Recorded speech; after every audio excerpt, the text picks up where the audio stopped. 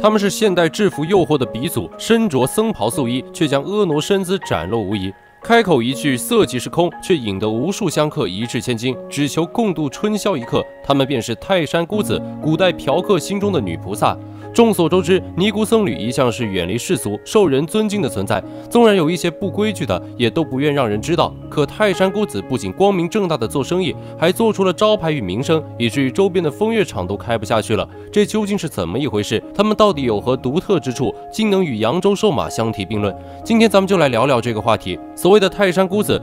仅从字面意思来理解，便是泰山的尼姑，正如扬州瘦马、大同婆姨、西湖船娘一样，特指某地区的特殊群体。但我可提前说好，这些都是古代外地风流客对当地个别群体的叫法，与本地人无关，甚至很多本地人根本都不知道这一群体的存在。泰山姑子也是如此，这一称谓仅代表泰山附近从事特殊工作的尼姑，甚至假尼姑群体，并不代表所有尼姑。其实不仅是泰山，根据相关史料记载，江南有吴越女僧，北京有尼姑寺。我们河南也有三庙尼庵，这其实是明清时期比较常见的现象，所以请不要带有偏见。其实泰山姑子的出现，多少也有点迫不得已，属于是时代的悲哀。泰山我们都知道，那是五岳之首，宗教圣地，自古以来游玩朝拜之人就络绎不绝。之前讲大同婆姨时，我们分析过，越是人来人往的地方，就越能带动经济发展。朝拜的人多了，不仅山上的道观寺庙香火足，山下的各种设施也日益齐全。满足了吃穿用住，自然少不了娱乐消遣。于是风月场所也开始冒头。此时的风月场还只是单纯的风月场，没有形成地方特色。但问题在于，老涛一进一出，钱没了，人也没劲了，哪还有力气去爬泰山？泰山险峻难爬，尤其是那条笔直的通天路，足以让那些心不诚的游子富商望而生畏。有那精力换个躺着就能消耗的地方使，它不香吗？久而久之，山上的道观寺庙香火越来越差，即便是有香客爬上山来，也拿不出多少香火钱，因为基本已经丢在山下了。这样一来，道友们算是几乎断了生计，甚至有不少人都下山另寻活路去了。山下灯红酒绿，山上却清冷幽寂，这鲜明的对比实在让人唏嘘不已。如果不是泰山宗教圣地的身份，恐怕山上的寺庙道观早就人去楼空了。在这种情况下，他们开始或多或少的去结交权贵，以此来维持生计，俗称傍大款。尼姑庵算是其中最有潜力的存在，因为有一小部分尼姑就是从风月场出来的。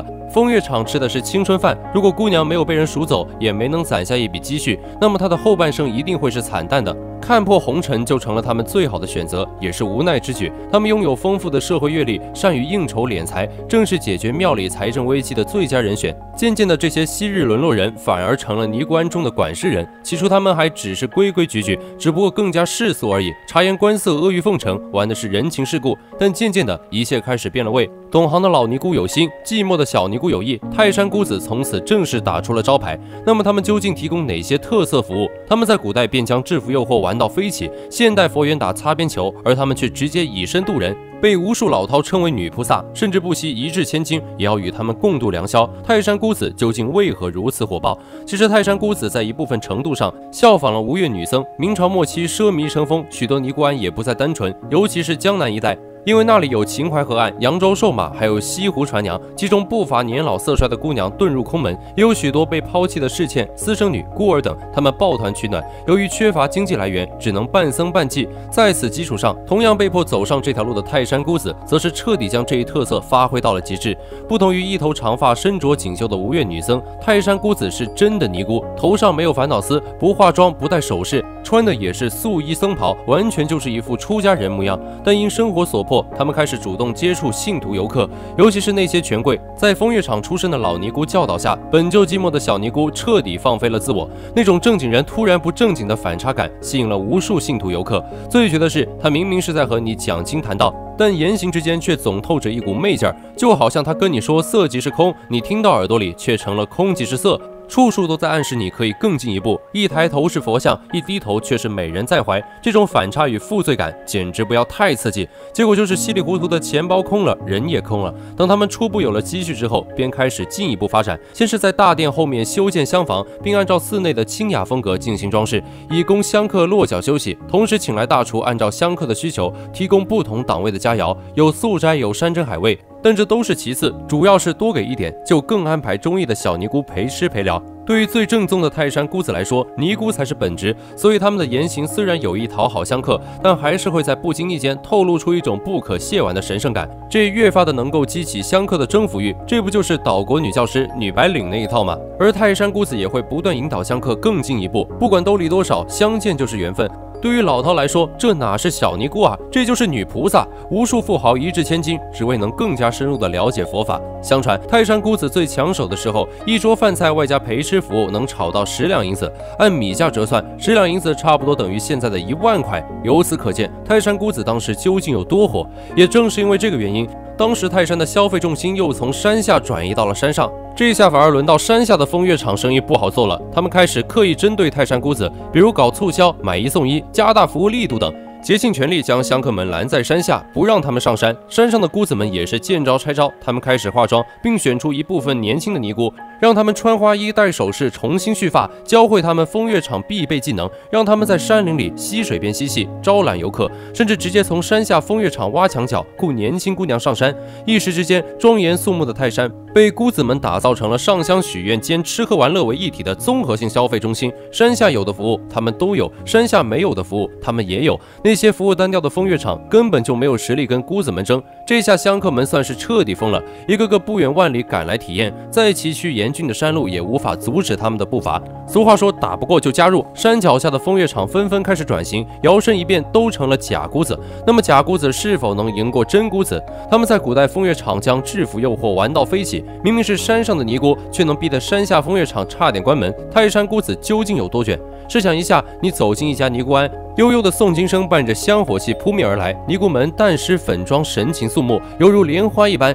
只可远观，不可亵玩。你发自内心的升起一股尊敬。然而，一个老尼姑却告诉你，相中了哪个，哪个就可以陪吃陪玩。你会不会感到好奇？然后挑一个比较心仪的，一起游览寺院，一起用餐。小尼姑给你讲述典故，讲解佛经。然而，不经意间的一些小动作，却让你无法转移目光。可能是露出的一段粉景，也可能是弯腰舒展出的轮廓。这时候，你的心思就变了。但你依然十分自制，因为你知道对方是出家人，是不可能发生什么故事的。结果，小尼姑又是。不经意间的几句话，暗示你可以更进一步，再进一步，眼神和语气也都变了。你遭不遭得住？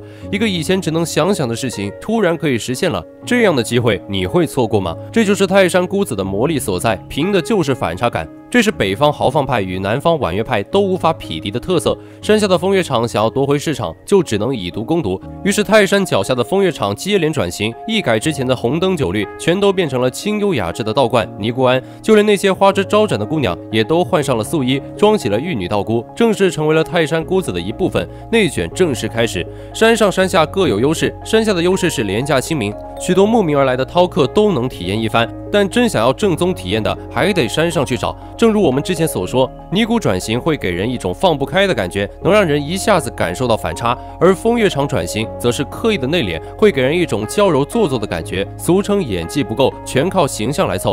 也就是说，他们才是那群玩制服的。毕竟真正的尼姑可是会念经讲道的，气质完全不一样。这就是山上的优势。因此，达官显贵一般都会上山一掷千金，而大多数则是在山下体验打卡，积少成多。山上山下虽虽然内卷，但各挣各的也不冲突，这才彻底形成了泰山姑子这一群体。泰山姑子在当时甚至成为了一种身份的象征。达官显贵往往会挑选一名深谙佛法的年轻姑子陪自己出游，主要是为了彰显身份。这些姑子往往妙语连珠，不时讲出一些佛法道理，令随行众人敬佩不已。而姑子不时所表现出来的出尘不染。不仅会让达官显贵心生尊敬，也会增加反差感，让达官显贵更加的尽兴。正如清代小说《老残游记》中所描述的泰山姑子易云，既是一位脱俗大师，也是一位男欢女爱的俗人。或许这就是泰山孤子的魅力所在。但泰山孤子的存在，无疑也是一种划时代的悲哀，不仅是对圣地的玷污，更是对清代社会风气糜烂的映射。提到泰山孤子，总是难免让人联想到之前的佛缘，这也让人不禁感叹：历史就是一个圈。现在人总以为自己玩的花，殊不知都。是古人玩剩下的那些被时代淘汰掉的糟粕，从来都没有未来。而佛缘也如泰山孤子一般消失了。对于绝大多数人来说，这这是一件好事。故事到这里就结束了，希望大家都能有所收获。我们下期不见不散。